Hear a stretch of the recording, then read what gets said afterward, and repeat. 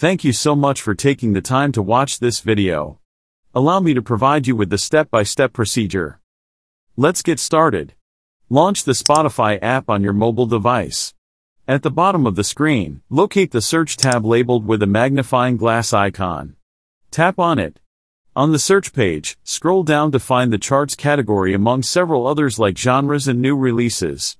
Within the charts category, you'll discover various charts such as Top 50, Viral, and Top Albums, showcasing the most popular songs and artists on Spotify.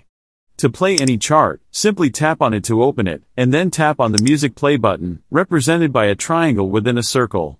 Now let's discuss about desktop version of Spotify. Launch the Spotify app on your desktop computer. Look for the search bar in the top left corner of the app's interface. Tap on the search bar to activate it. A search page will appear. On the search page, you'll see various categories such as genres, new releases, and more. Scroll down on the search page until you come across the charts category. Within the charts category, you'll find different charts, such as top 50, viral, top albums, and more.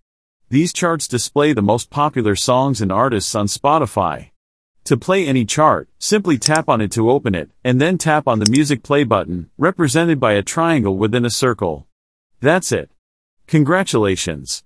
Now that you've discovered the charts section, you can enjoy exploring and listening to the hottest tracks and trends on Spotify. Happy music exploration. Thanks again for watching. Don't forget to like, subscribe, hit the bell icon for notifications, and leave your comments below.